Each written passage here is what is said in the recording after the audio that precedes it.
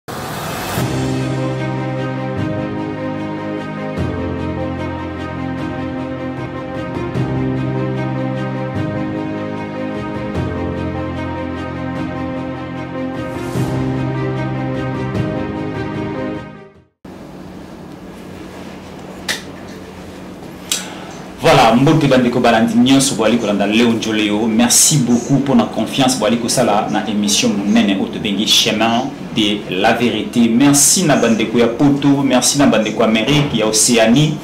ya asie ya afrique surtout boali kolanda biso ebele na congo kinshasa na luanda na angola merci beaucoup na bandeko ya libreville na gabon merci na bandeko ya jeffersonville au niveau des états-unis d'amérique c'est bel et bien votre magazine chemin de la vérité ici nous parlons de la religion la religion musulmane la religion chrétienne euh, la religion bouddhiste n'importe euh, quelle religion tobetaka masolo nango awa mpo tomema lumière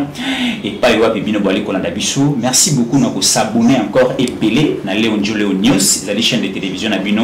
oyo etiaka bino na ba conditions ya malonga ah vous allez retrouver le goût le plaisir l'ambiance la gaieté de suivre la télévision à la présentation c'est bel et bien votre humble serviteur moi c'est Fiston Yankole Katango Chambo Mputu Moleba les Jésus de la presse euh, congolaise merci beaucoup à toute l'équipe technique oyo ali kopermettre biso tokoma bipai nyonso bino bozali merci na aris kasa qui est euh, derrière les machines les machines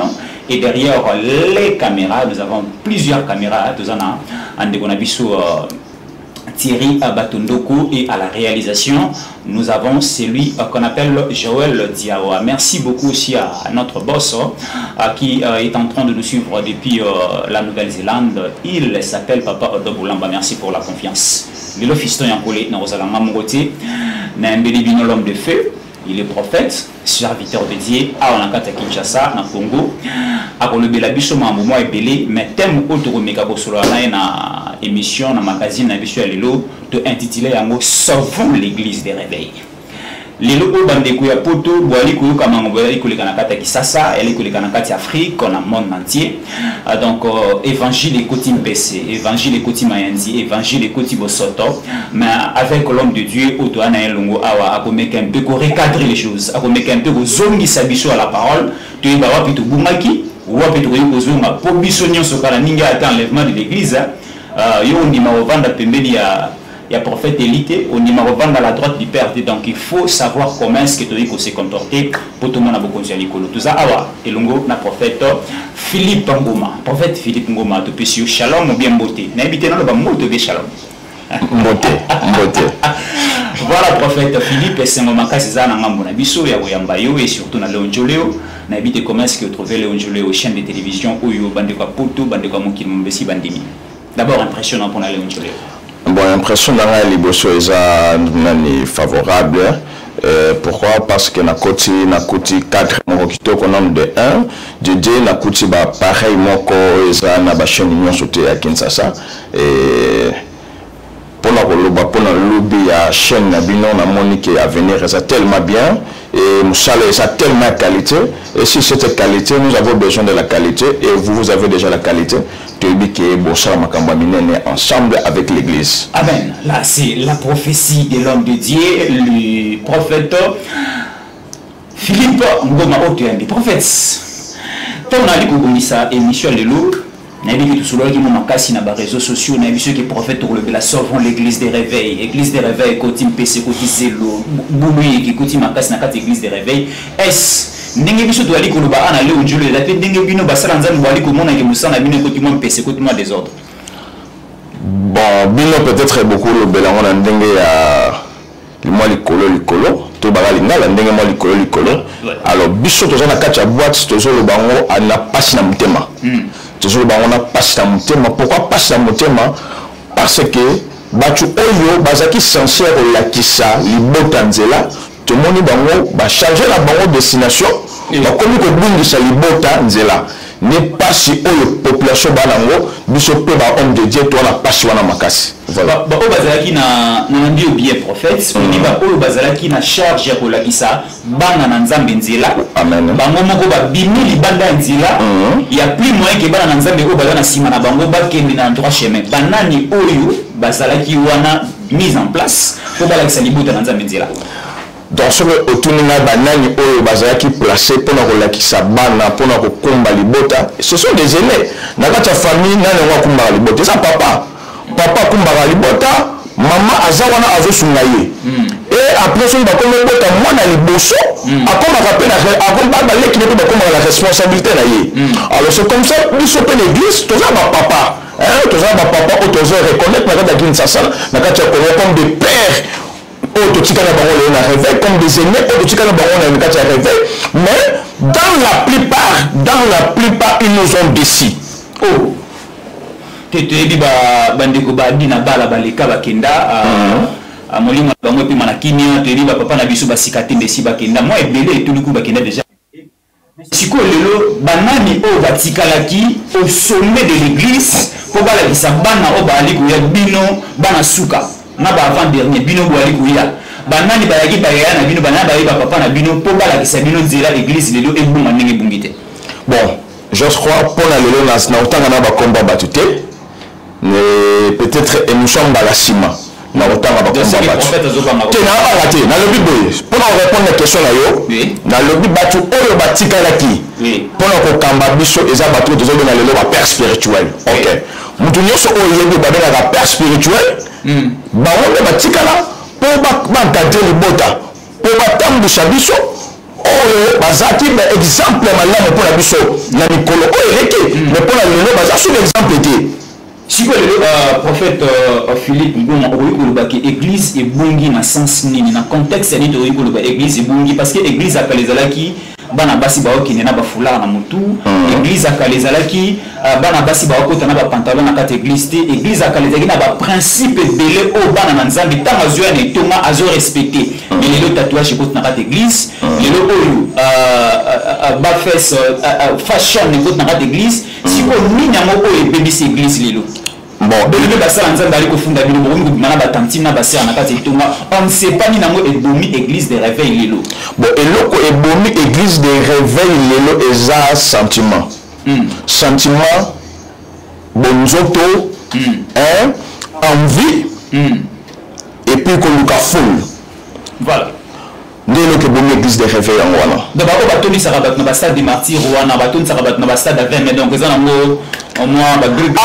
non nakoti nanu kuna te hmm. nakoti nanu kuna te nalobi eloko ebomi église de réveil lelo eza sentiment hmm. envie sentiment eza nini Nazo banga ko yebisa papa sœur moko que elateli oyo subala sima okota l'église te. Hmm. Pourquoi ana posa sera d'une église te. Et du coup akomi songo pe habitude. Hmm. Donc eloko moko ezaki habitude église te. Hmm. Ezaki par rapport ezaki na doctrine église te disons. Alors avec l'état bakoti songo pourquoi baliboyi ba sœur wana babima baboyi bandeko wana bakende hmm. ozomona aujourd'hui nous avons beaucoup de partenaires oyebi bien ke motu wana partenaire na ye c'est un occultiste hmm. mais mokolo moko tata ya repentance Ah bon. Pourquoi pas c'est à quel sentiment ah, Aza na posa na zala mwa mbongo c'est ça le problème hmm. nde eloko yeba na église yango wana nde omona partenaire avec l'état akokozwa parcelle okomoninga na ye mais nga kotyelo mondolo nakotyelo mondolo mpona prophète euh, prophète philippe akoboya mwa mosolo ya partenaire wana ya occultiste prophète philippe akoboya mwa aspect beauté ya jeune fille alataka bajupa mikuse ntango batelemaka liboso église badekoraka mpe etonga fo toyeba yango nalobi te nakoboya ser wana ayaka église mais il a besoin d'être enseigné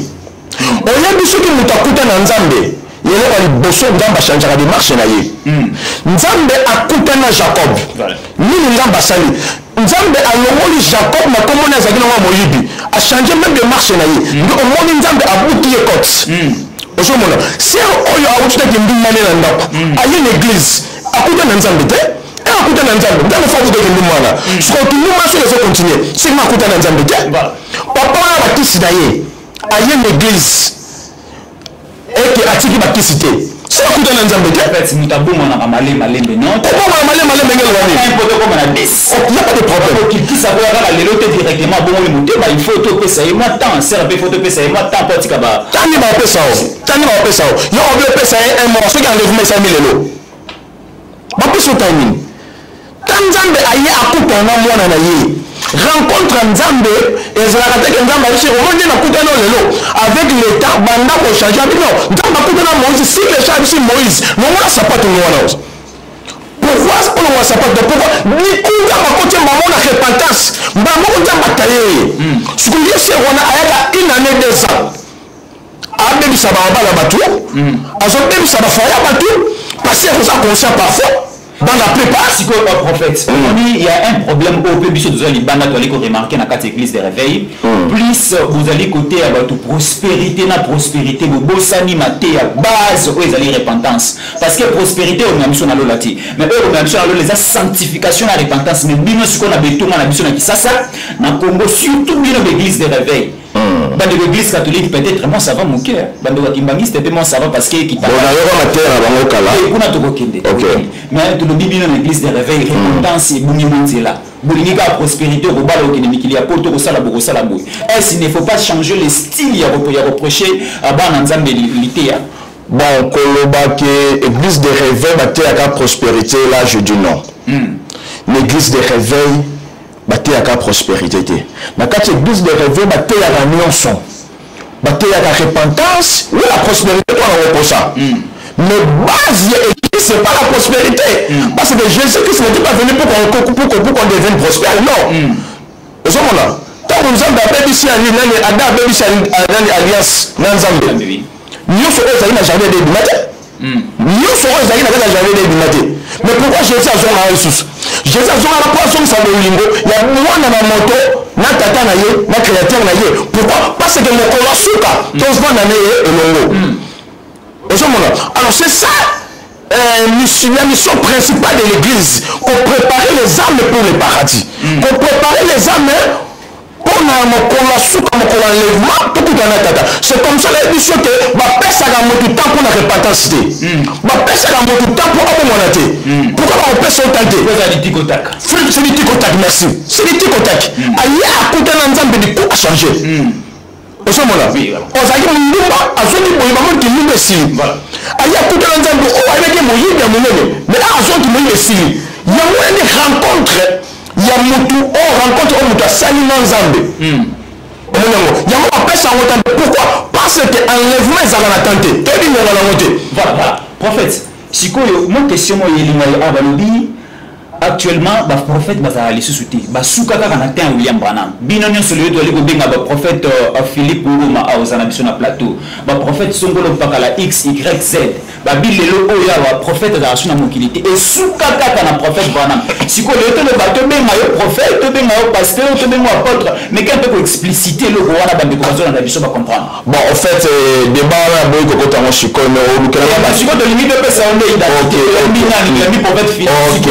ok ok merci beaucoup ah. euh, nayebi so ke oyambi le prophète philippe ngoma hmm. hein euh, un prophète de, la, de sa nation mm. je suis un prophète établi mm. et mutu oyo alobaka prophète basila établi par qui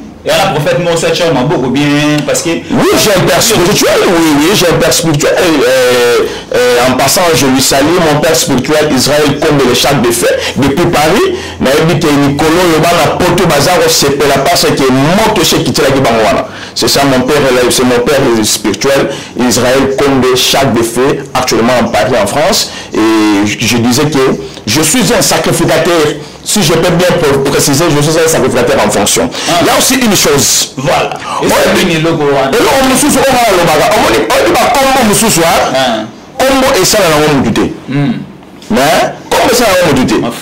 mafuta nde l'onction en toi ata yo oboyi ngai na prophète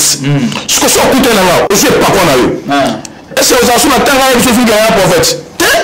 badeba bakombo nasalako te moto oyo amoni ke abetsami libaku akobanga prophète te benganga ata frère philippe ya problème te sikoyo prophète philippe te akontinue kaka na kobenga prophète philippe est ce que prophète philippe mpe na kati ya mosala na bino ozali mpe koreconnaitre baprophète oyo bazali vraiment ke non soki balobi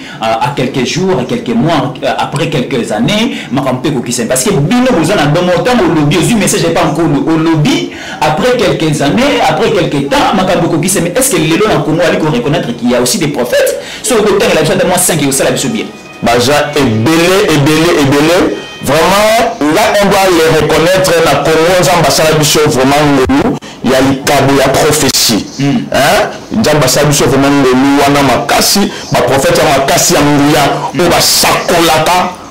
oyo basambelaka mpo na bato oyo bazoteya bato repentance oyo bazoprepare bana nzambe mpo na relèvement baza telema ebele telema ebele voilà mais moyen toza na bakombo eza te Non, soki kotanga makombo ya problème tuna kotanga yango tozanga euh, prophète euh, oyo azali euh, père spirituel na de côté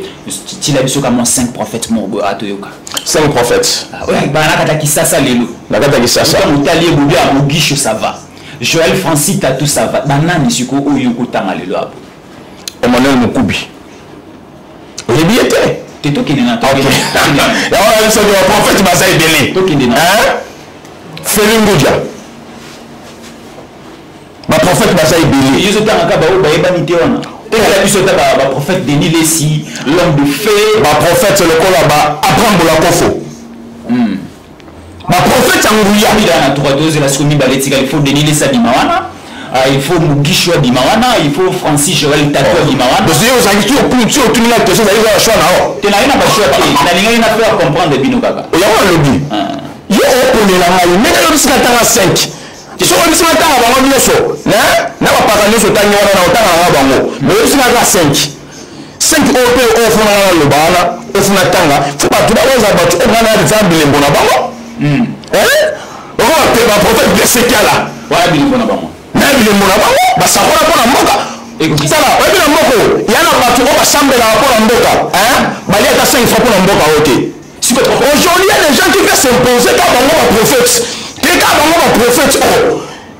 sikoyo bana ba vitesse moko balinga bakende nango neti kaka donke likolo na bango mosusu aza te mosusu aza te esa pre bango bato bazala te eske na mambo ya nzambe supérieur azalaka inférieur azalaka mpe bino nyonso bozalaka na diapason moko bon supérieur na makambo ya nzambe azalaka inférieur mpe azalaka baprophète oyo bazali ya ya catégorie ya liboso bazali ya catégorie mibale bazali ya catégorie misato bazali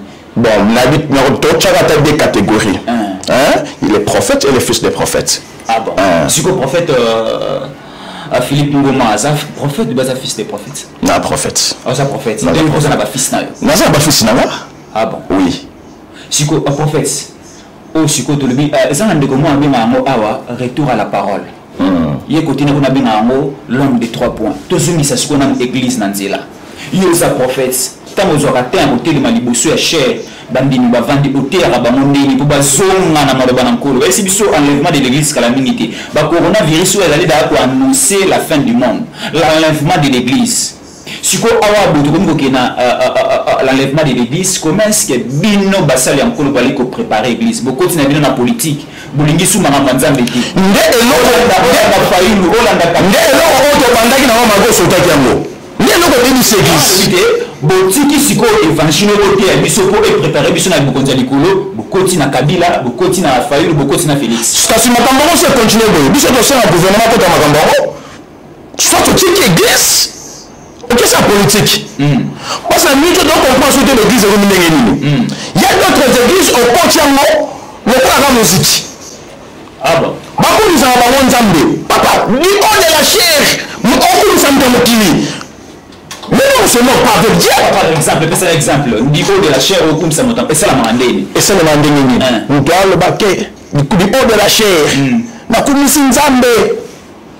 ndenge nzambe lelo ah. asali entele akufa yo oza nano sepaliwa ya motu meme nzambe kutu azela kutu moto masumu abongola motema mpasi nzambe ana kosa ami na ye hmm. mais aujourd'hui à cause des sentiments bato bakosala bango biloko wana Donc, euh, euh, l'homme de Dieu et la politique, les yeux salités. Soit tu fais euh, le service de Dieu, soit tu fais la politique. Non, l'homme de Dieu peut faire la politique. Hein. je précise bien mm. un homme de dieu peut faire la politique mm. mais sauf que politique na lien de clics eza bisika mibale mm. sokomi na lien na yo politique lokomakomi na politique oya libre mm. sokomi na lien de clics mm. yoko makambo ya nzambe tosuki wana mm. omoni yango mais no na lien de clics yokomi na lien de clics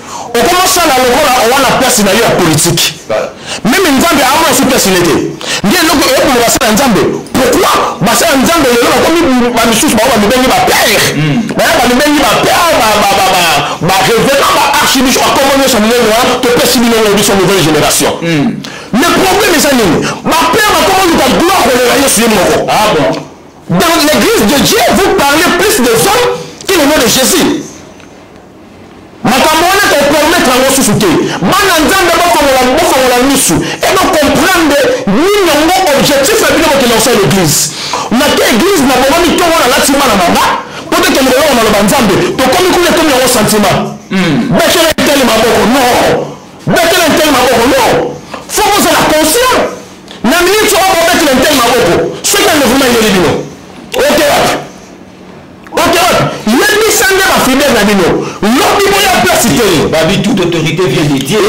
soki mokonzi ya mboka bali kobetele maboko na kati etonga mabe ezalaki toute autorité vient de dieu soki lelo kristo yakolo akomi chef de l'état mm. nzambe nde apesinaki bokonzi wana ifo bokumisa nzambe à travers moi ok soko na bayede kate ah. bisika nini obi boyebisi biso babetela mosala nani nani nani mokonzi ya mboka maboko na eglise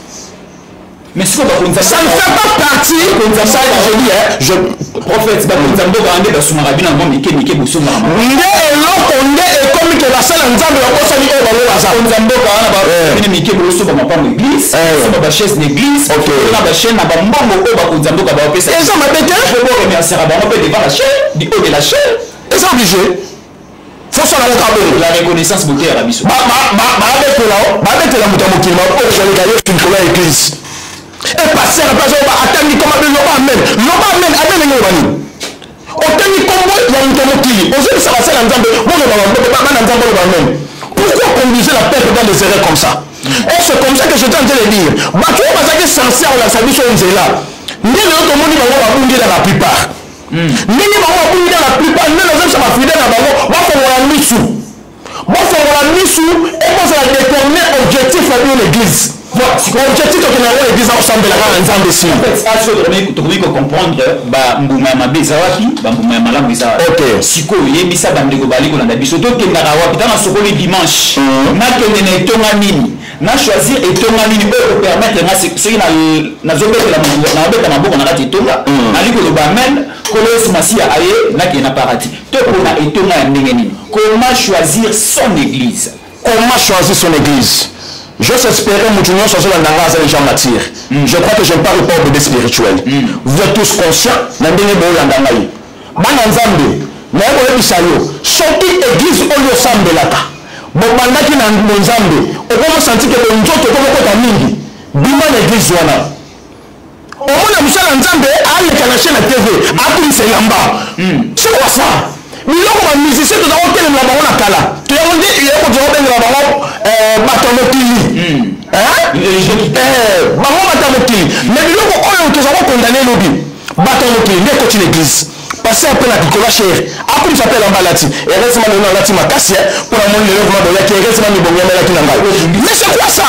mais non, non moi je parle pas de ça je parle pas de ça hein? ozomona yango nde biloko wana ya sentiment ekoti ti na kati eglise omonaki paster aleki na tv eh? aleki na tv mpo arepondre paster moko abosani jour moko azali na pasi na mona kabelaka 500 dollars ese bible yango obandaka yango lelo n'est-ce pas nzambe apekisi biso soki opesi na gauche droite ayeba te nde eloko ezokamusanga ezotike biso makasi biso bana ya nzambe tozobanga bana nzambe bobunga nzela nayebi ke ebele si bobungi nzela parce que pourquoi bobungi nzela mpo kokoma bafanatike bapaster kozala jamais fanatike ya paster bana nzambe lokola kuma fanati ya pasteur badadi bamami ya problème te mais éviter kozala fanatique ya dadi na mami ta ozala fanatique ya mami na dadi okende nzela moko ya lifelo hmm. bon parfois ye akozala nzambe akopeshe na dernier minute hmm. nayebi ta nzambe abengaki ye te mpe nakojuge te condamnation na ye mais yo nde yeba makambo oyo ozosala hmm. oza mwana mayele oyebi mobile et le mal tika kozala fanatique ya dadi na mami zala fanatique ya jésus biso nyonso na nsima yesu ye kaka aza likolo ya biso nyonso sasa coucou spécial la celle qu'on appelle tati tatiana chiswaka elle est aussi prophétesse topesi ye mbote salut salut la prophétesse tati tatiana chiswaka napesi yo mbote depuis quelque part vous êtes en train de nous suivre napesi mpe Maman Esther Malela Londi, Maman 100 jours, Mbote pe na wali kolanda biso depuis quelque part, ensemble na secrétaire na Jocelyn Mvula ya kati pe apale na pesi bino tout mbote bwali kolanda biso. Prophète siko toloba olobeli l'église en général, l'église des rêves en général, na basala Nzambe obali kokamba ba église wana tolobela siko prophète Philippe Ngoma. Prophète Philippe Ngoma oali kokamba etonga eza kote nini oali kofonctionne ndenge nini eske na mikili ya poto na bafrance na babelgique etonga esi ekomi kuna eske awa na congo baetonga eza na baprovince nyonso prophète Philippe Ngoma aali kofonctionne ndenge nini et surtout olance message na bandeko nyonso baali kolanda biso na mokili mobimba merci beaucoup mpo na opportunité bopesi ngai na ntongo ya lelo euh, je me présente je suis le prophète Philippe Ngoma euh, je suis le pasteur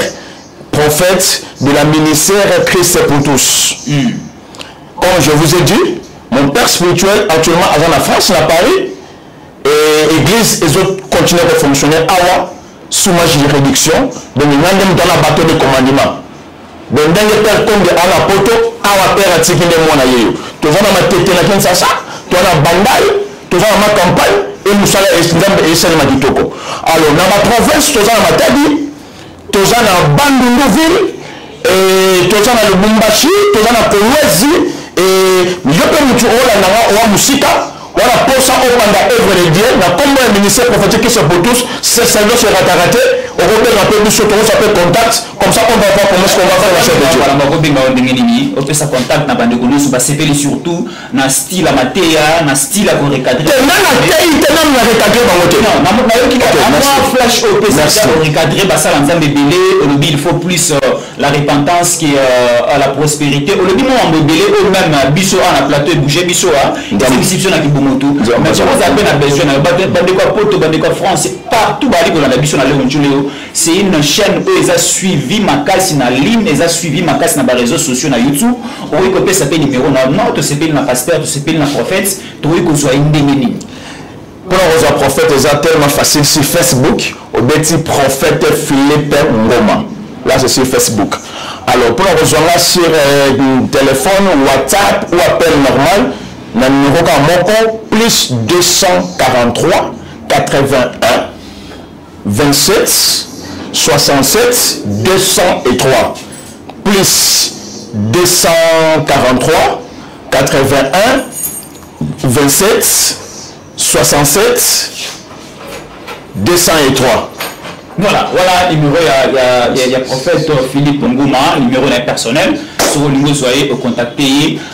na numero wana bandeko baliko na biso na poto soki ya libanda ya mboka otie 00243 81 27 67 203 namoni keke mpana bitala yango bien te bobozwa euh. mingi oyo apesi na suka a nde numero ya bien bocontacte euh, prophète philippe nous remercie bel et bien votre magazine chemin euh, de la vérité ici nous parlons te la religion le différentes religions euh, oyo ezali koexiste na mokili oza na, euh, na asie nayebi ke na asie ezalaka plus babudiste nayebi awa ah, na congo toza dans un pays euh, laïque toza na bachrétien toza na baprotestant toza na banani na banani awa ah, toza na ah, vraiment dans un pays laïque oyo constitution na biso ezali koreconnaitre mais awa toyali kosala émission mpo na bandeko ya mikili mobimba ya poto toyambaki prophète philippe ngoma ayaki korecadre makambo azongisa l'église euh, comme au temps aux anciens l'église primitive et perdaki à ba qualité na yango c'est pour cela prophète Philippe Ngoma ayaki invité spécial na biso ya tonga lelo ameki un peu ko recadrer makambo prophète Philippe topesi yo 3 euh, minutes tokomi na suka topesi 3 minutes pour chiter amen bana nzambe tika ete nzambe apambola bino de partout bozolanda biso bino boza na kinsasa boza na ailleurs partout oyo bozwi libaka kolanda biso tika ete nzambe apambola yo tika na biso eloko moko nyonso oyo ozosala lelo lifuta nango mpe ezali bisika oza yango mposa okende lobi ngonga yango ya kobongisa yango Yo ndeko oza na posa ya kokoba na masumu tika nayebisa yo bongola motema parce que tokomi na ntango ya suka awa tokomi ochute vers la fin du monde tala ndenge bakongola moto eye boye tala ndenge ba donald trump bauti na bapouvoir tala ndenge ba joe biden baye lobi mbala nsima na koya napesa bino na prophesie ya makolo bato misato oyo nauti otanga coronavirus joe biden na trump et to comprendre ensemble tokomi na temps de la fin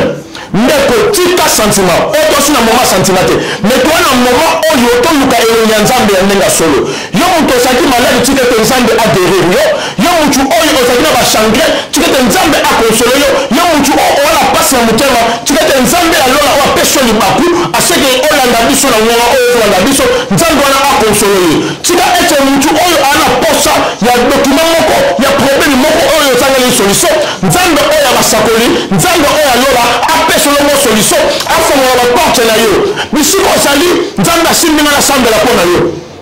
Ozwi kaka loboko na yo otie na motema tosambeli. Nzambe na pamboli libota nyonso oyo bazwi libaku kolanda biso na ntongo ya lelo. Tika ete loboko no ya nguya Nzambe ekita likolo ya vi na bango. Nzambe na bebisi toute sorte ya puissance nyonso oyo efukamelaka nkombo na yo tie likolo ya bavi na bango. Nzambe, motu oyo aza na baoppression ya barésistance satanique, Nzambe na bengani yango na nkombo na Yesu. Nzambe mutu oyo ana difficulté kotika masumu Nzambe na kotisi bo Nzambe na yo kati na motema na au nom puissant de Jésus Nzambe mutu oyo azaki azui décision kobanda siko atika masumu pe alanda nzela na yo Nzambe accompagne ye tambola na ye tambola na ye ba camarade nyonso ya mabe oyo bakobebisa destiné na ye Nzambe na longoli bango liboso na ye na kombo na Yesu nde na bondeli bango amen ok amen prophète esi eza mpe na bato mosusu akozala no azalaka nde na poto azalaka nde na angola azalaka nde na brazzaville azalaka nde na gabon aa mpe na besoin azwa kaka numero prophète abanda kolandelaka vie na ye euh, privé osambela mpo na ye ozosala baprophétie mpo na ye est ce que osalaka mpe baservice baza tellement ebele nayebi bana baza tellement ebele balanda de partout europe amérique akota na équipe te obanda kolandelaka bango baprière problème eza te loboko ya nzambe eza mokuse te donc babengaka na numero babengaka na numero wana plus 243 81 27 67 203 whatsapp appel normal nyonso ozwi ngai nzambe aokamba biso mpe okomona loboko ya nzambe voilà merci c'était l'homme de feu l'homme à la langue brûlée il se nomme prophète philippe ngoma celui qui était notre invité spécial de ce magazine chemin ah, de la vérité de ces jours merci beaucoup pour la confiance à Léon News merci beaucoup pour la confiance que ah, vous euh, mettez surtout à nos différentes émissions à nos différents magazines merci euh, de rester toujours fidèle à nos programmes et surtout ce que nous vous demandons de suivre nos émissions à la première minute jusqu'à la dernière minute